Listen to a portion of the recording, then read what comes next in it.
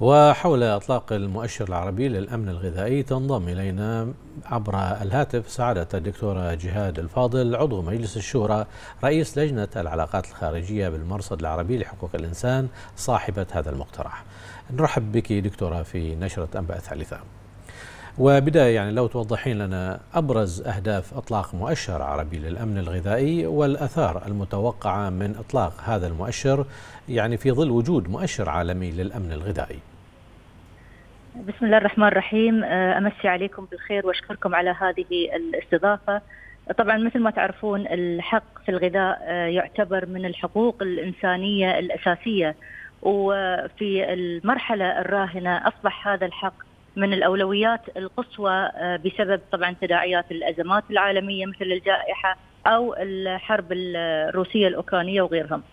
فمن هذا المنطلق جاء مشروع إطلاق مؤشر عربي للأمن الغذائي من أجل الوقوف على مشكلة تحقيق استدامة الغذاء لدى عدد من الدول العربية خاصة الدول اللي موجودة بمرتبة بمرتبة متأخرة في المؤشر العالمي للأمن الغذائي.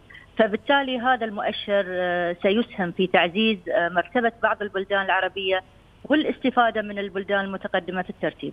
أما فيما يتعلق بالأثر المتوقع من المؤشر فيعني العمل بالمؤشر لن يقتصر على وضع ترتيب للبلدان وإنما سيجري تقديم تشخيص للمشكلة إن وجد إن وجدت. فيعني مثلا عرض الدراسات والإحصائيات والدعم المناسب لتعزيز الأمن الغذائي لدى البلدان اللي تواجه مشكلة في تحقيق استدامة الغذاء.